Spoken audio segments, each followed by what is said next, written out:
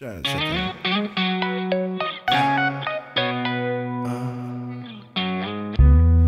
Triple A, credits alright.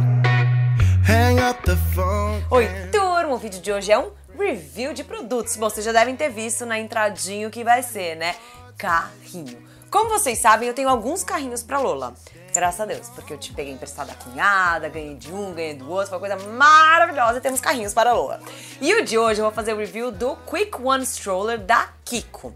A Kiko me emprestou esse carrinho para usar para eles dia a dia aqui. Então primeiro eu vou mostrar para vocês e temos piquitiquinha comendo com fome aqui no fundo, dando uma charamingadinha também, tá no vídeo, porque a vida real e baby está logo aqui. Enfim... É, eu tô com ele já faz um mês, então andei pra caramba pela rua de São Paulo, por aqui eu ando muito na rua, no meu bairro, né? É, carro, colocar no carro, tirar do carro, enfim.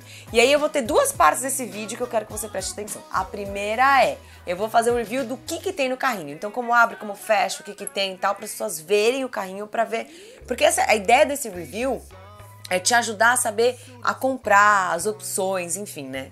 O que a gente tem no mercado. Então a primeira parte é o passo a passo do que tem no carrinho. E a segunda parte é a minha opinião pessoal de como foi esse primeiro mês com o carrinho, o que, que eu senti, o que, que eu achei, se é apertado não apertado, se fecha, se abre, se é prático ou não prático. Real, oficial opinião, tá? Então fica ligado que a gente vai dar uma olhadinha primeiro no passo a passo na parte do carrinho, como ele é montado, como desce, como sobe, como deita, enfim. Vem comigo.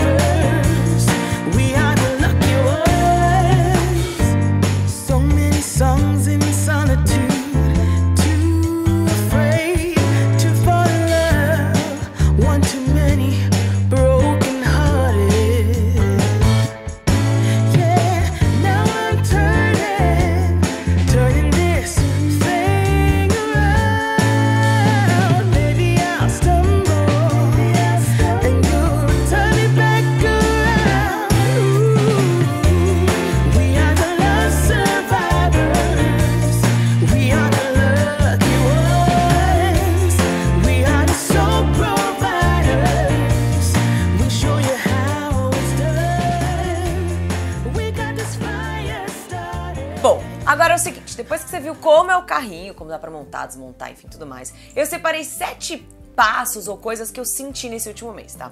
Primeiro, ele é muito prático de abrir e fechar. Eu acho que isso é uma das coisas mais legais, principalmente quando você tem o bebê no colo. Então você consegue, com o bebê no colo, abrir e fechar o carrinho.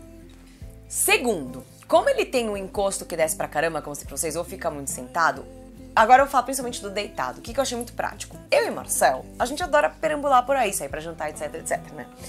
E à noite a gente tava se privando mais de sair, assim, porque a gente não queria levar a Lola dormindo, ou à tarde, final da tarde, enfim, queria deixar ela dormindo aqui, com os horarinhos dela. Aí agora a gente saiu pra caramba com ela na hora da soneca, porque ela começava a ficar com sono, a gente tac, tac, Deixava ela como se fosse uma cama mesmo. Tem uns porém? Tem. Por exemplo, ela tá com mania, agora ela adora virar de lado para dormir, né? Ela pega a naninha, dá uma virada.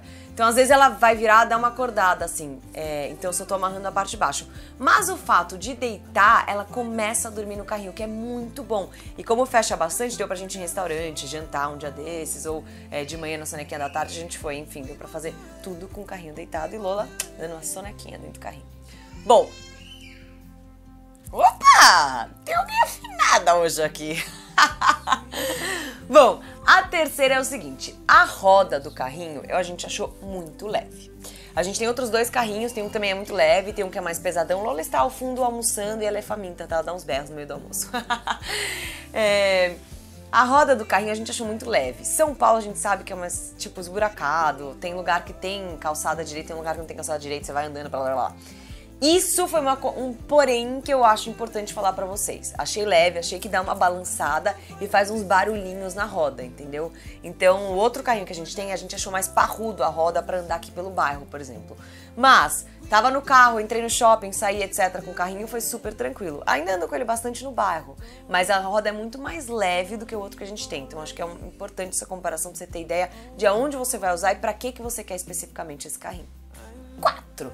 A largura do carrinho, quando você olha, ele parece meio gigantão. Então, assim, tem alguns carrinhos que vai andando nos lugares e fala, meu, você não consegue passar em lugar nenhum que ele fica apertando. O Quick One, o que, que eu achei legal? Ele parece gigantão, porque quando ela tá lá dentro, fica tipo tudo, assim, que é legal, né? Ela deixa os brinquedinhos, tá tudo dentro, assim, cai. Só que quando você vai passar nos lugares, ele não fica tão esmagado. Ele não fica esmagado, louca. Ele não fica tão gigante. Você consegue passar em alguns lugares mais estreitos que outros carrinhos não conseguem.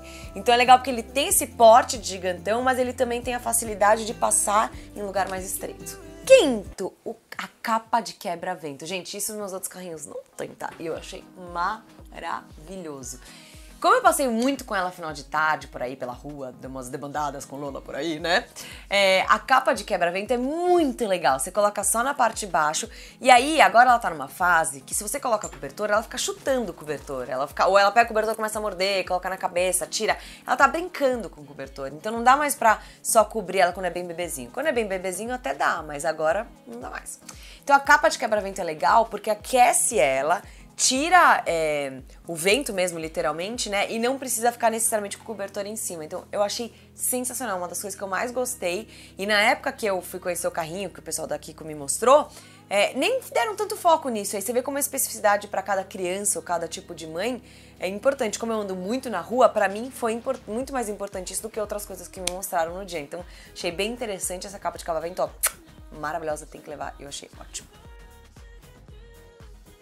Sexto, a barra do bebê de segurar, quando eu comecei a usar, ela ainda não estava sentando, puxando pra frente, fazendo, né, tudo que ela está fazendo agora, né, sem parar. É, então eu achei meio longe, assim, eu falei, nossa, tá longe essa barra, né, ela colocava só os pezinhos que ela adora brincar.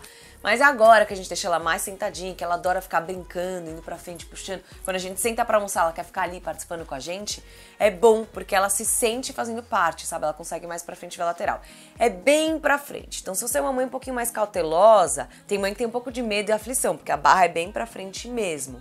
Eu sou mais tranquila, então eu achei, por outro lado, legal, na verdade, porque ela fica olhando tudo na rua feliz da vida ali, ó. Vendo papagaio, periquito, tudo que tá passando, ela adora. Então ela barra é um pouco mais longe, mas é legal. E por último, mas não menos importante, aliás, acho que mais importante para quem gosta de passear com o carrinho por aí, é o porta-tudo. Sei lá como é que chama esse negócio. Peraí que eu, talvez me mandaram, né? Vamos falar uma coisa importante. Compartimento de guardar as coisas. eu vou muito no supermercado com o carrinho comprar coisas, eu vou na frutaria, enfim, tudo mais. E aí, o é, que, que acontece? Esse compartimento embaixo do carrinho, ele é muito bom porque ele é grande e ele não é no meio do carrinho, ele é bem embaixo assim mesmo. Então eu consigo colocar sacola do supermercado, consigo colocar umas coisas quando eu vou sair pra andar e voltar, enfim, achei um compartimento muito bom para guardar as coisas que você tem que guardar, se você vai comprar, se tá no shopping, compra umas coisas, você consegue colocar a sacola ali, é maravilhoso. Bom, gente, foi simples, prático e rápido. A ideia é poder mostrar produtos aqui para vocês é, compararem, verem, tirarem dúvidas. Se você tiver mais dúvida ainda do que eu te mostrei aqui, me pergunta aqui embaixo que eu vou responder, tá? Se eu ainda não testei, até me pergunta porque daí eu testo e te respondo depois de testar isso no carrinho, que vale a pena. Outra coisa, me conta qual é o seu carrinho, que eu também quero saber, sou curiosa, se você tem alguma, se tem esse carrinho, o que, que você achou? Não esquece, tá? Eu vou deixar os dados da Kiko Brasil, quem quiser aqui embaixo. Agradecer eles por confiarem no meu trabalho de review, porque eu ia falar sinceramente, falei coisas boas e coisas ruins também, porque vocês precisam saber para saber a decisão, que é uma decisão tão importante, né, o carrinho comprar, porque é um belo de investimento. Então eu achei muito bom poder passar isso para vocês de uma maneira clara, prática e sincera que vocês sabem, né? Se inscreve no canal, fiquem com Deus, um grande beijo até o próximo vídeo.